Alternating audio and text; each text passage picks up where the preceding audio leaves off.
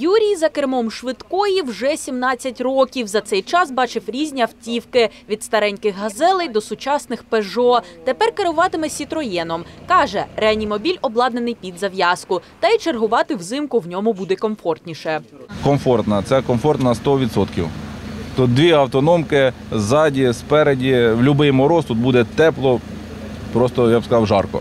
На нові автомобілі швидкої витратили 4 мільйони гривень. Їх придбали на гроші, які вдалося зекономити впродовж року завдяки закупівлям через систему Прозоро, кажуть чиновники. Ці кошти не були передбачені в бюджеті. Реанімобілі будуть на балансі обласного центру екстреної медичної допомоги. Це варто підкреслити, адже це перші автівки, які медзаклад не буде орендувати у міського підприємства санітарного транспорту. Те, которые презентуем мы сейчас, это будут личные машины Центра экстренной помощи, и они будут их собственные, они не будут никому передаваться в аренду и так далее. Те машины, которые они сейчас берут в аренду у э, автобазы города Днепр, так сложилось исторически. Ну вот нельзя уже ответить на вопрос, почему и кто принял такое решение, но так сложилось исторически, что все водители являются сотрудниками автобазы, и все те машины, которые мы берем в аренду, они их э, собственные машины. Да, мы очень хотим от этого уйти.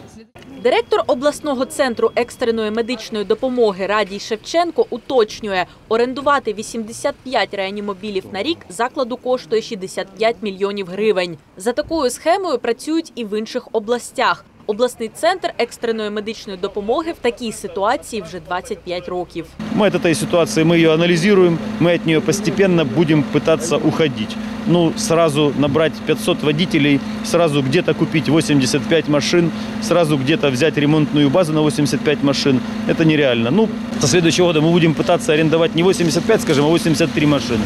Таким образом, уходя постепенно от, от этой ситуации. Аліна Елєфтєрова, Олександр Вернігоров. Новини 9 каналу.